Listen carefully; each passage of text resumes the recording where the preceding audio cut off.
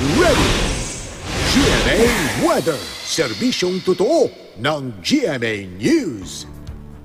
Good morning, Susan. Merry Christmas din. At good morning po mga kapuso. Wala tayong nakikitang posibleng bagyo na maaaring mamuo papasok sa ating Philippine Area of Responsibility hanggang sa araw po yan ng Pasko, December 25. Kung pagbabasihan ay ang wind forecast map ng The Weather Company. Wala po tayong nakikitang sirkulasyon dyan sa mga susunod na araw. Sa ngayon, ang pag-uulan na maranasan dyan sa Northern Luzon ay epekto ng ah, malakas na hanging amihan yan ayon sa pag-asa. Habang tail end naman po ng cold front ang magpapaulan dyan sa Northern o Central at Southern Luzon.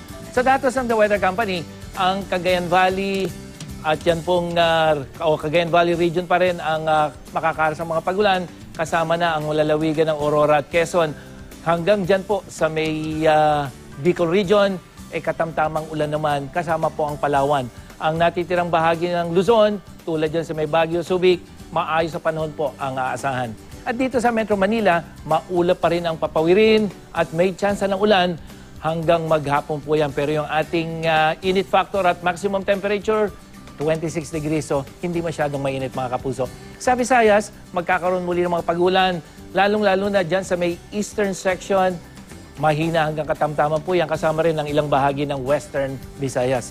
Masungit pa rin ang lagay ng mga dagat, sakop naman ng northern at central Luzon. Seaboards po yan, hanggang dyan sa may southern Luzon. At ngayon po, isinama na rin ang eastern seaboard ng Visayas ayon sa pag-asa. Kaya delikado pong maglayag ang mga may maliliit na sasakyang pandagat.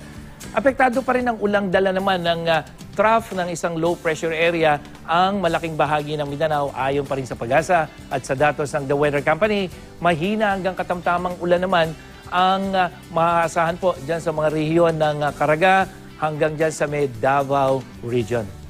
At yan ang latest mula sa GMA Weather. Ako po si Nathaniel Cruz. Magplano para sigurado. I am ready. Serbisyong totoo ng GMA News.